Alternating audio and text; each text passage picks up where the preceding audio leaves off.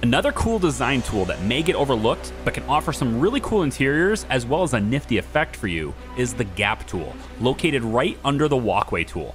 While the walkway is great for letting people walk above the ground and still see what's below them, it only works outdoors since the conditions for it to function aren't often found indoors.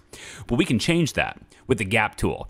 This tool will allow you to remove entire sections of flooring from the above ground floor, allowing those on the second floor to now see the floor below. This isn't just for looks because your guards do have a conical vision of the floor below them and can respond to events that happen below as well.